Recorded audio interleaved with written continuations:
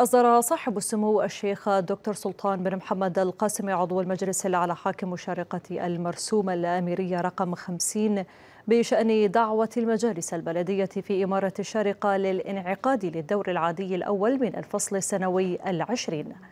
ونص المرسوم على أن تدعى المجالس البلدية في إمارة الشارقة للانعقاد للدور العادي الأول من الفصل السنوي العشرين يوم الاثنين الثامن والعشرين صفر 1464 الموافق 2 سبتمبر 2024 كل في مقره.